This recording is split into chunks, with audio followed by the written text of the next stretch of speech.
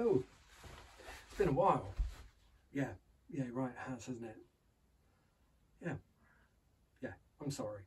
Uh, so, everyone's just been really ill, and it's taken a lot of time out from uh, everything that isn't just normal bike work, and it hasn't given me an opportunity to do any more YouTubing uh, because I've just been looking after family, getting bikes fixed, and that's been the priorities really. But everything seems to have settled a little bit. The weather's changing. It's sunny at the moment. It's been really wet, but hopefully it will continue to improve. It's it's warmer than it has been. So it's the window out there. Um, so yeah, here we are. Hambridge Cycles. I can't remember what episode this is. I'll, I'll find out when I post it. And this one, it's a bit of a meander a bit of a, a, chat about this bike I've got here, which is a Specialized tarmac. Um, it's got a big ride coming up. My, my customer is off uh, to uh, I think, for a little trip. So he wants it spick and span for that. A um, little bit of work to do on the brakes and the bottom bracket, which I've done already. That was uh, just needed the bearing serviced. And now I'm onto a wheel so particularly the rear one. Um, this one is an ENVE rim with a Hope mono rear hub. Um, I've taken it apart. It was really sort of gunked up with old grease and dirt and water and everything else. So I've taken it all apart. It's on the bench. Um, we'll put that back together. You can see what's inside a Hope hub. It's always interesting. You see how the mechanism works how it all goes together. And then maybe we'll have a look at just some odds and sods in the workshop. I think I've got a couple of tools I wanted to show you, so we'll do those.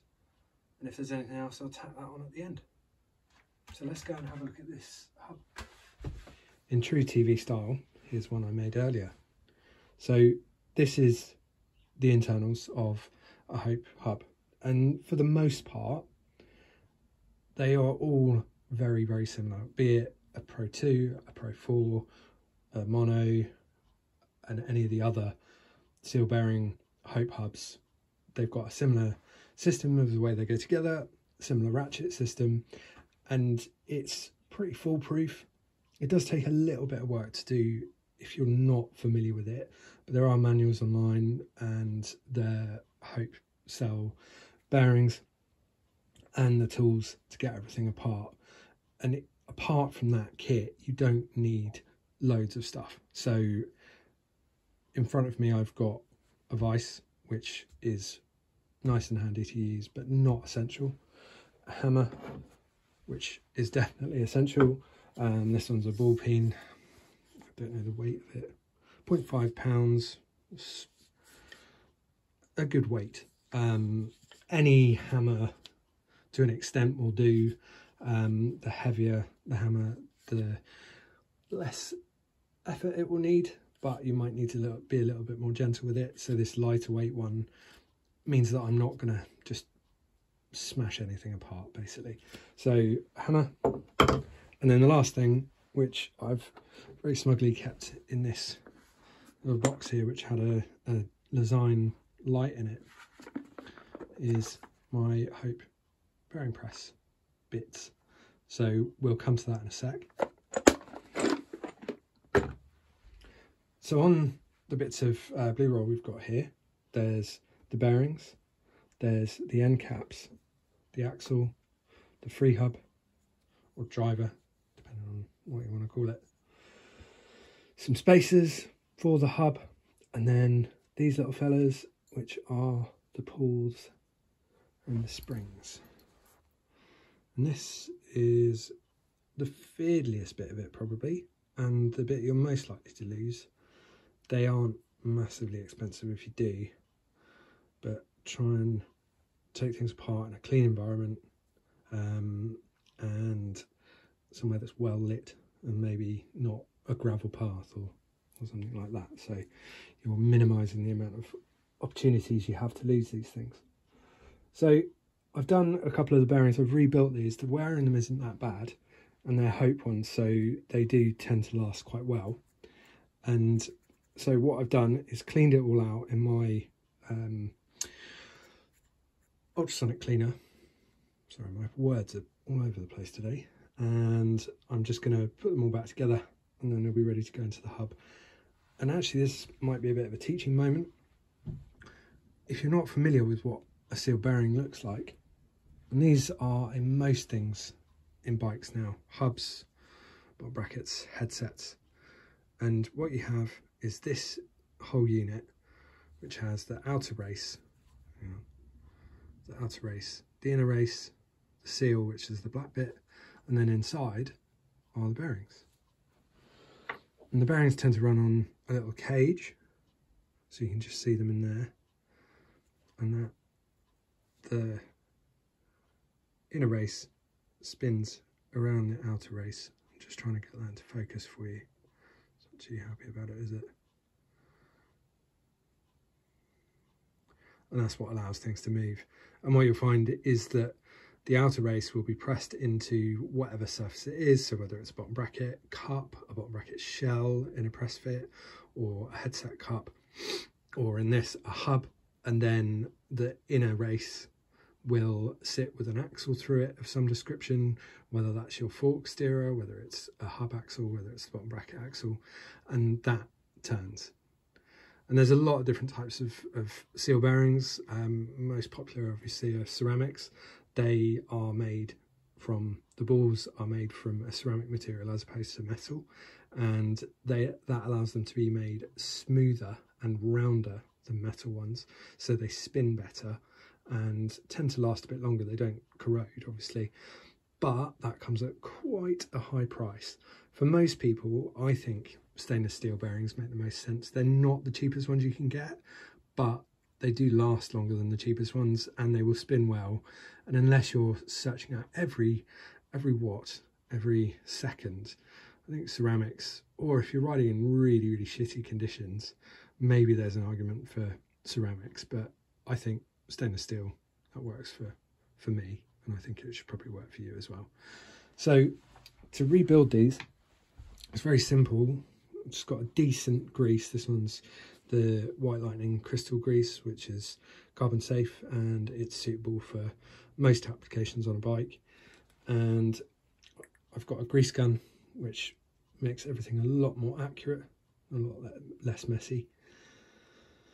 And it's just a case of getting the grease into the bearing, taking your seal, making sure that is clean and everything must be dry as well.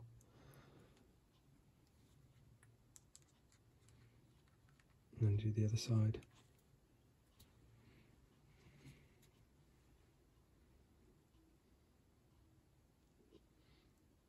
Press that in and then you'll just feel a little bit more resistance with the seals in there and it should still feel smooth. Usually a seal bearing, you could probably rebuild it a couple of times maybe and then after that the bearings will have, have worn or rusted or corroded too much to for it to be viable, to be sensible to, to do. Um, you're kind of just wasting time really. So that's that one there. What to do is crack on with the rest of them because I didn't realise how long this was going to take you don't need to see me do this another three times. So we'll come back in a sec once I've done the rest of them and then we'll carry on. There we go, Magica Cinema. Those are all done. So if you've read much about fitting seal bearings, the the guy in his garage, the guy in his shed will, and behind his keyboard, will say to you that a socket set and a hammer will work to get bearings in. And it does to an extent. And the principle behind that is that sockets have a round surface that isn't completely flat. Uh, there's a there's a gap in the middle. And when you go to push a bearing in, press a bearing in, you can only press on the outer race that I've explained earlier.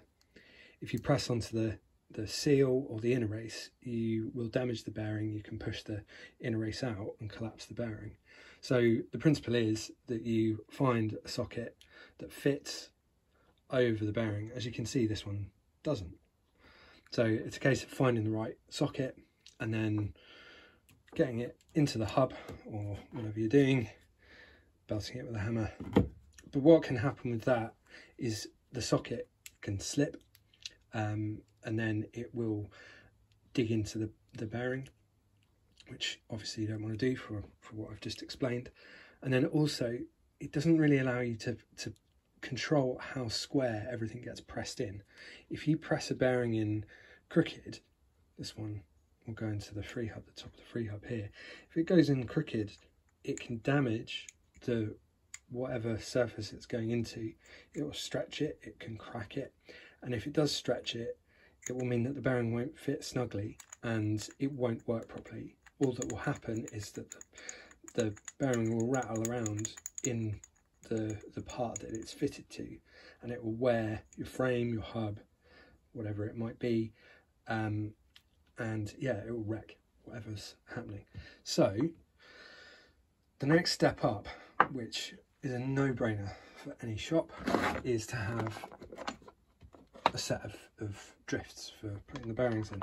And these are in specific sizes for specific bearings and they fit perfectly over the bearing and they tend to either come with a, a threaded bar with handles on it like this Wheels manufacturing one and then that will have various stepped bearing drifts to press the bearings in and that will square it all up.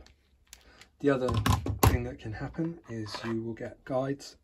So this one and this one, pretty sure, yeah, there you go, they go together. So there's no movement in that. That will go in square and it's not going to wreck your, your parts.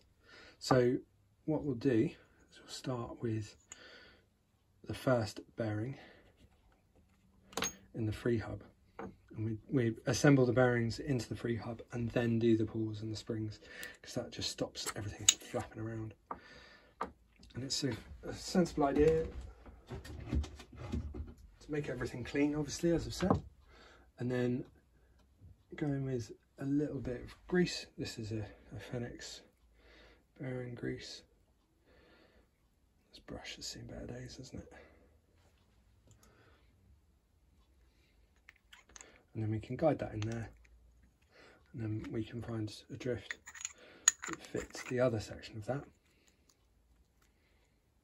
So that fits in nicely.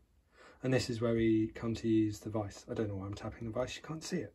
So I will pan around. And again this is better than a hammer because it allows you to do things squarely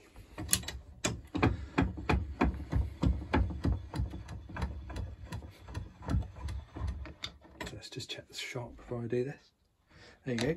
So the bearing is ready to go into the hub. The drifts are in place, the guides are in place, everything's square.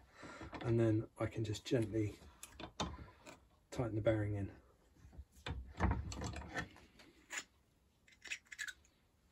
There we go. That's seated in there. There's no real, even a, a reason to check it's flush because we know it will be. But you should and then we'll go to the next one which is on the inside it's that one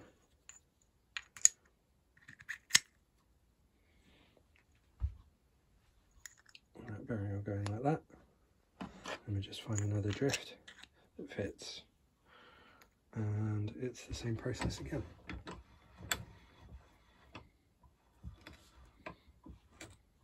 And in my tools, you need to own series that I've started. Go and watch it if you haven't. I explain how the right tool. Oh, you know what I've done? I've missed the spacer out. Live and uncut.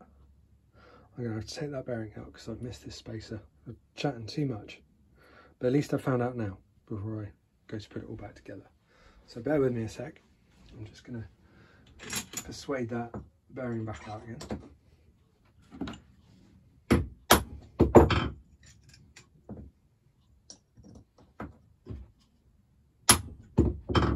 and doing the persuading is a punch.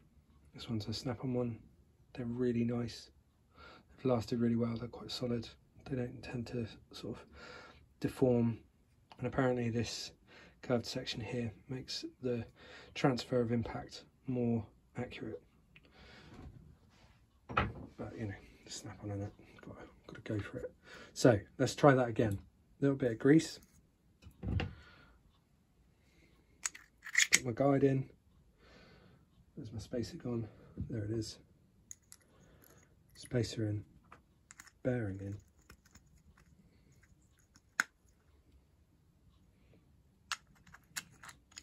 And that's ready again.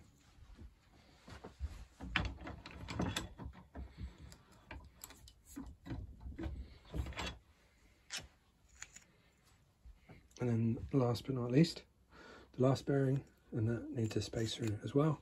A little grease.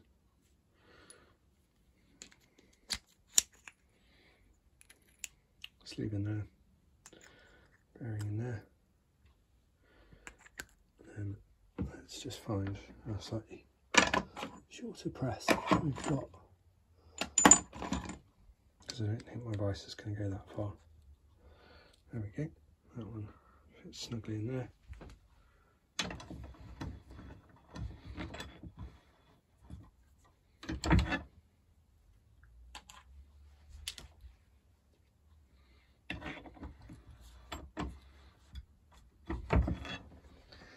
Hopefully, hope have etched the description of all of their parts. So this one says Pro 2 Evo non-drive side.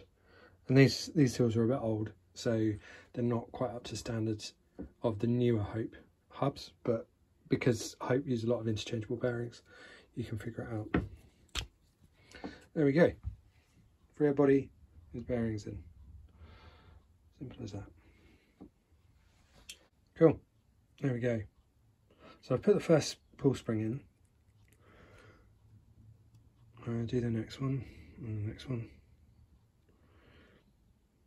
And the spring is just this little leaf leaf type thing. Just got this curl bit of metal in it. And you slot those into one side of the free hub body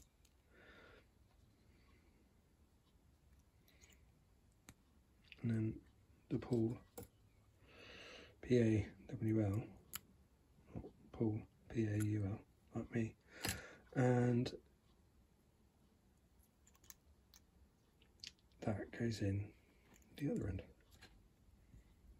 I've got a pick to do this, but a screwdriver or something will probably do the job. You might even be a bit more dexterous and be able to get your fingers in there.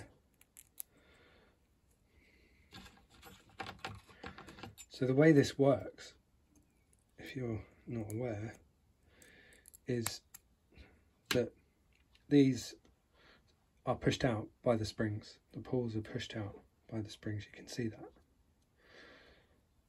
So when the wheel goes in one direction, the pawls are pushed down.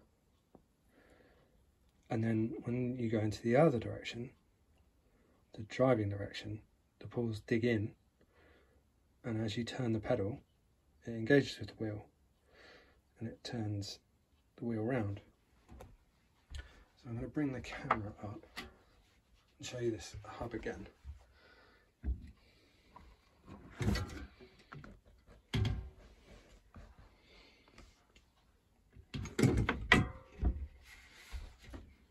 So, white balance, there we go. So you can see in there the teeth in the free hub, uh, in the hub shell. And what happens is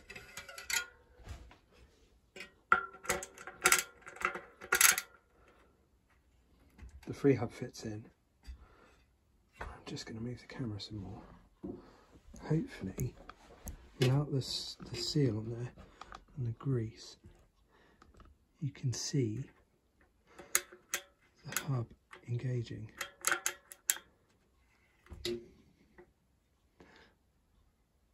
This might need another shot, mightn't it?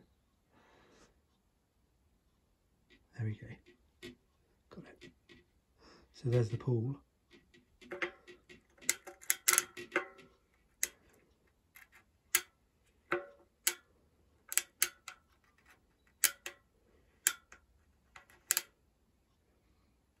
And that's how it works. And that's drive and freewheeling. So as you turn the hub, as you turn the cranks, the hub shell turns, and then when you're freewheeling,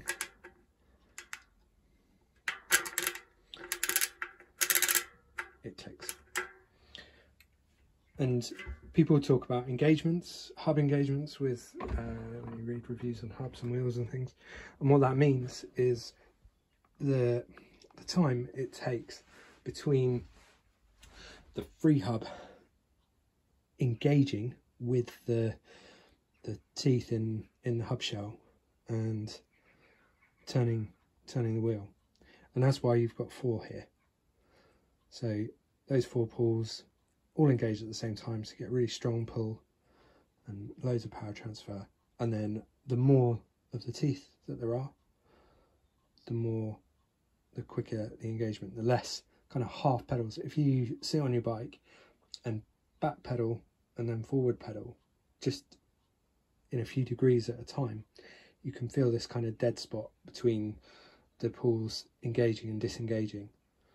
I'm not really doing a very good job of that am I? Um, and that the more of those there are the quicker the quicker the hub will engage and the less dead spots there are as you're freewheeling and then starting to pedal again.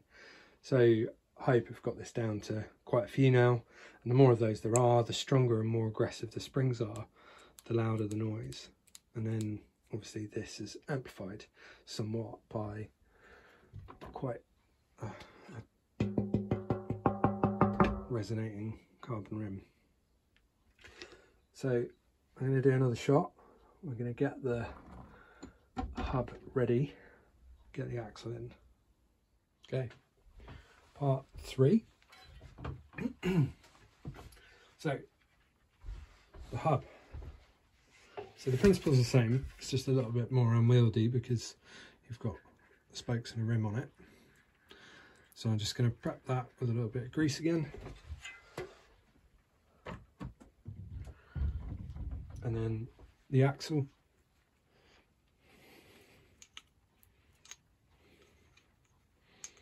Bearing on.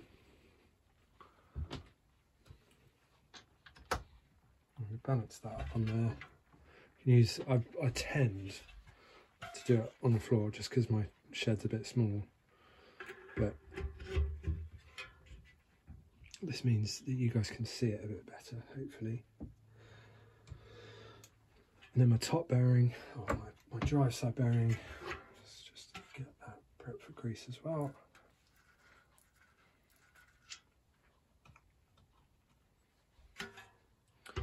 get the guide in there and what you can see with that is this thing about it being square.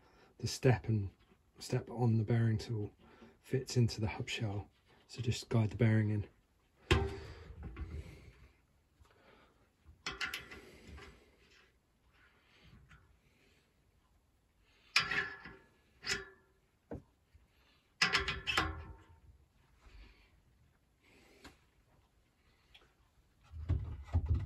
because I can and I don't want to damage my tools too much.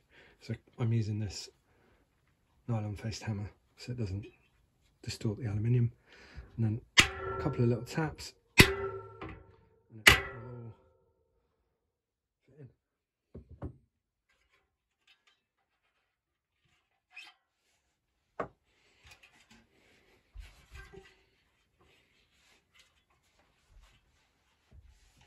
Right, set up the next shot get the free hub in, get the cassette on, and we'll be away.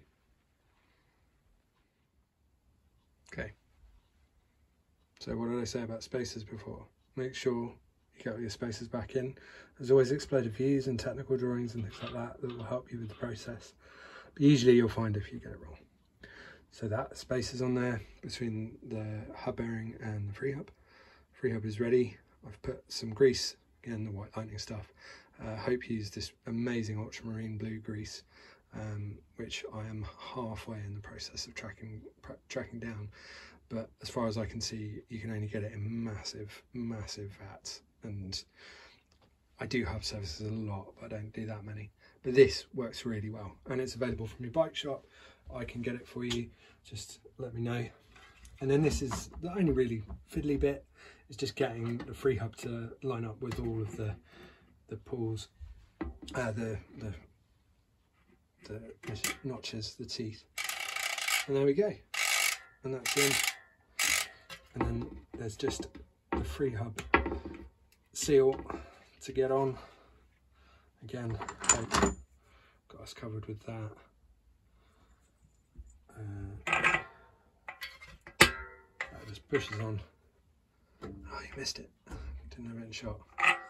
Show you again. And amazingly, what always confounded me was the fact that all of this is just pushed into place. So there we go, that's a better way of doing it, isn't it? And then it's just the free hub seal tool there, and that just pushes it on, and that just holds it in. That's mad, isn't it? then end caps, fortunately, Hope are very smart. They make their end caps different, so you can't get confused. They're nice and easy to tell. So that's the silver one on the drive side. A little bit of grease on there.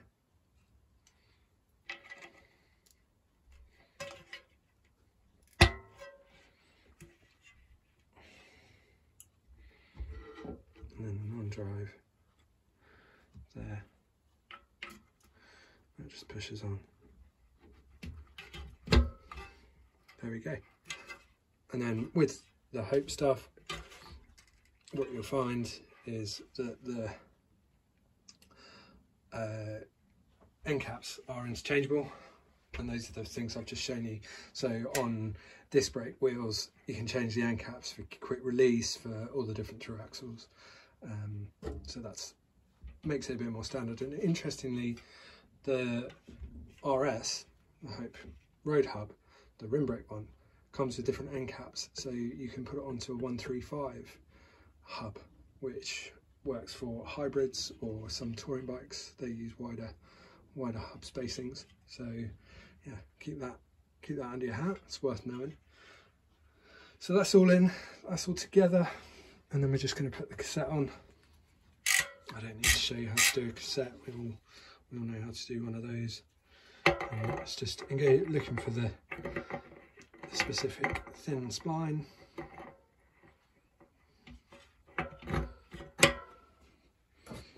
And making sure you get them all in the right order.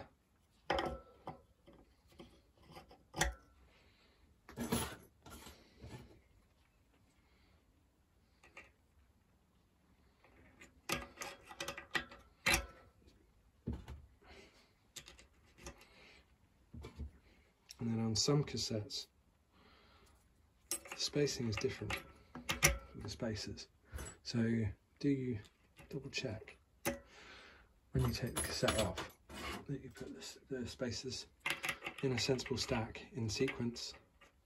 And I know with this Shimano one, it's it's not one that has individual spacer sizes, so we can, as long as we just make sure that all of the sprockets in the right order.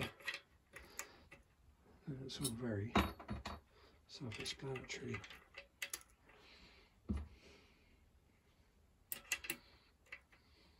Last sprocket, ring.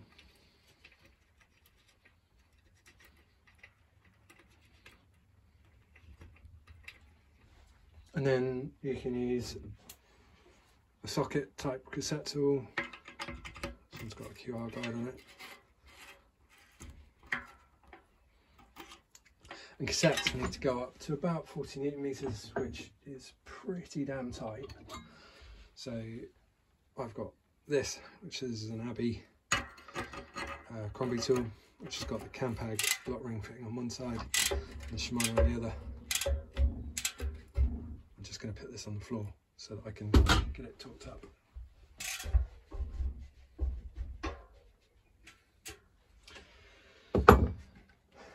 And there it is. New hub service, all good to go.